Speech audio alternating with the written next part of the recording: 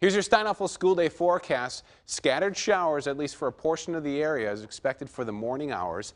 And then by the lunchtime hour, I'm thinking we're starting to dry out. Warm and breezy and possibly some late day sunshine with a high near 85 degrees later today.